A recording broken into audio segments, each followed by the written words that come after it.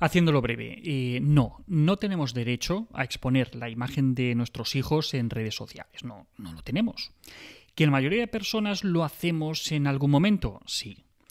¿Que eso realmente no debería ser así? También. Los hijos no son una propiedad de, sus progenitores. madres y padres cuidamos y, acompañamos a nuestras criaturas mientras éstas no pueden tomar decisiones por sí mismas. Pero eso no nos da derecho a tomar cualquier decisión sobre ellas. Vamos a ver.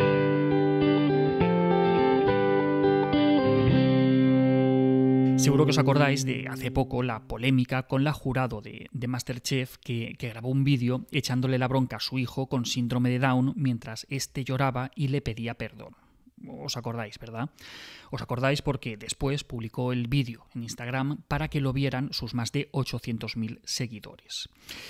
A ver, en este caso hay poco debate. Eh, muchas personas salieron a, decir que, se trata de algo intolerable, que, humilla al menor y que, nunca debería haberse producido.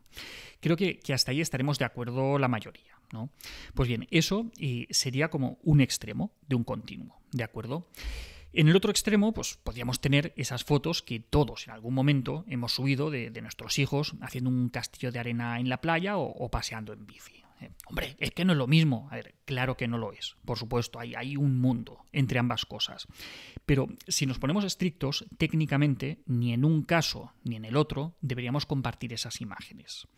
¿Por qué? Pues eh, el primer caso es el verdaderamente sangrante, ¿vale? Porque es humillante, atenta contra el honor del menor y daña su imagen. Eso lo vemos todos claro. En el segundo caso, eso no está presente al igual que en la inmensa mayoría de las imágenes o, los vídeos que, compartimos las familias de, de los peques. Pero incluso en esos casos tan inocentes, estaríamos yendo en contra de su derecho a la imagen y de su derecho a la intimidad, aunque no les estemos humillando. ¿Vale? Si nos queremos poner técnicos, estos derechos están reconocidos en, nuestra legislación. La Ley Orgánica de Protección Jurídica del Menor habla de la protección de su imagen y la Ley Orgánica de Protección de Datos y de Garantía de Derechos Digitales habla sobre el derecho a la intimidad. La idea que hay detrás de todo esto es que los hijos no son una propiedad de los padres. Que sí, que, todos sabemos diferenciar un hijo de, un bolso, una casa o un teléfono. ¿Vale? Las personas no son objetos, hasta ahí lo tenemos todos claro. Pero es que luego, en el día a día, sí que hacemos a veces cosas que, llevan implícito ese mensaje de hago lo que quiero que para algo es mi hijo. ¿Vale? A ver, eh, sí y no. Me explico. Y madres y padres eh, somos quienes tomamos las decisiones, que, para eso tenemos la patria potestad, ¿vale? Pero precisamente esa patria potestad no va tanto de darnos derechos a nosotros como de proteger a las personas menores. La patria potestad es una responsabilidad parental que tiene ciertos límites. vamos a pararnos un poco en esto de, la patria potestad porque, porque es importante. En nuestro Código Civil aparece recogida la patria potestad en el artículo 154, que dice lo siguiente. Los hijos e hijas no emancipados están bajo la patria potestad de los progenitores. La patria potestad, como responsabilidad parental, se ejercerá siempre en interés de los hijos e hijas de acuerdo con su personalidad y con respeto a sus derechos, su integridad física y mental. Vale, paremos aquí un momento. Aquí ya hay algunos elementos que, son importantes. Primero, que la patria potestad es una responsabilidad de los progenitores. No dice que sea un derecho, no. Dice que es una responsabilidad. Es que yo tengo derecho a... No, no, no, no, no, no. En realidad tú lo que tienes es la responsabilidad de... ¿Vale? Y luego continúa dice que esa patria potestad se debe ejercer siempre en interés de los hijos y de acuerdo con su personalidad, con respeto a sus derechos, su integridad física y mental. Esto es, las decisiones que tomamos los progenitores no pueden pasar por alto la personalidad de sus hijos, preferencias, valores, ¿vale?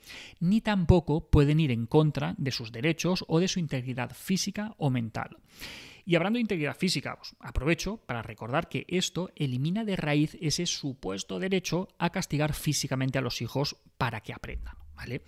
Y es que hasta 2007 el Código Civil, este mismo artículo, permitía corregir razonable y moderadamente a los hijos. Estos términos tan ambiguos de razonable y moderadamente pues, hacían que por ahí se pudiera colar de alguna manera el castigo físico, porque ¿quién decide qué es razonable y qué es moderado? Un tortazo a tiempo, como se suele decir, pues para muchos es algo razonable y moderado. Pero ahora no, ya no cuela. Este razonamiento, ¿vale? Seguimos. Código Civil 154. Este artículo cita tres deberes y facultades de, la patria potestad. vamos a ver los dos primeros, que son los que, los que nos incumben bastante. Primero, velar por ellos, tenerlos en su compañía, alimentarlos, educarlos y procurarles una formación integral.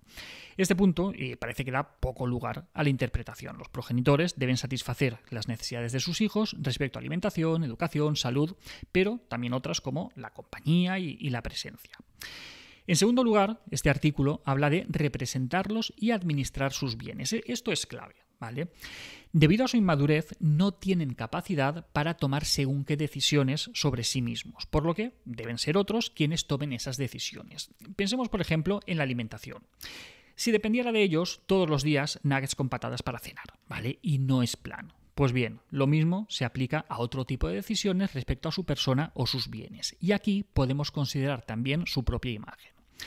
Los padres eh, debemos velar por la imagen y por la privacidad de nuestros hijos. Esto es, eh, no podemos usarla a nuestro antojo.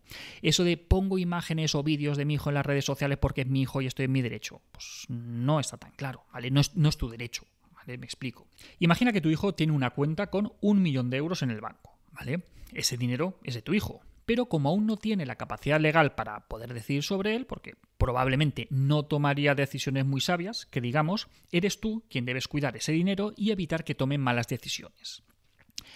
¿Puedes hacer lo que quieras con ese dinero? No, no es tuyo. ¿vale? Y si es tu hijo quien te pide que con ese dinero le compres una moto o una consola, tampoco, porque tienes el deber de administrarlo y no malgastarlo. ¿Vale? Esto se entiende, ¿verdad? Pues con su imagen personal y con su intimidad ocurre exactamente lo mismo. Es su imagen, no la nuestra, no, no deberíamos compartirla. Es que él me lo ha pedido, tampoco me vale, porque no tiene la madurez como para poder comprender las implicaciones de sus actos, ya sea respecto al manejo del dinero o respecto a su propia imagen. La legislación está hecha para protegerle de sí mismo en un momento en el que por inmadurez no puede tomar decisiones responsables. Por lo tanto, aunque te pidiera compartir esas imágenes, esos vídeos, o aunque te permitiera gastarte ese dinero, no deberías. Volviendo al continuo del que hablábamos al principio, está claro que, no es lo mismo publicar imágenes o vídeos humillantes para el menor, que, que muy probablemente cuando sea adulto desearía que jamás hubiéramos compartido, que poner una foto suya haciendo un castillo de arena. ¿Vale? Pero a día de hoy, legalmente no hay dudas. Y como muy bien explica Pablo Duchement, eh, no existe un derecho del tutor a exponer la imagen o la intimidad del tutelado. Al contrario, la protección de su imagen y de su intimidad es un derecho del tutelado y una responsabilidad del tutor. No quiere decir esto que, todos los padres y madres que compartimos fotos de nuestros peques en redes estemos pisoteando sus derechos de la peor manera. Pero mm, es útil reflexionar sobre este tema para no perder de vista que no es tanto nuestro derecho como nuestra responsabilidad. Y que tenemos que tener siempre en mente el interés de los peques y, no tanto el nuestro propio. ¿Vale? Antes de subir una foto, pues, podemos pararnos un poquito y reflexionar si lo estamos subiendo por su bien o por el nuestro, por conseguir un poco de caso en redes, unos likes, ¿vale? Y si decidimos subir esa foto o ese vídeo, tener siempre en cuenta algunas cuestiones básicas de seguridad como no subir imágenes íntimas, y que no se pueda reconocer nuestro domicilio, su colegio, que no lleve el uniforme del cole, mm, que no salgan en ropa interior o que no salgan desnudos y por supuesto eh, nunca jamás subir imágenes o vídeos que pensemos que puedan ser ofensivos u humillantes. Y hasta aquí otra píldora de psicología. Si os ha gustado, podéis ayudarnos compartiéndola. Además, tenéis muchos más vídeos y muchos más artículos en el canal de YouTube y en albertosoler.es y en todas las librerías nuestros libros Hijos y Padres Felices y Niños sin etiquetas. También tenéis nuestros cuentos Tengo nudo en la barriga y Tengo miedo. La semana que viene, más. Un saludo.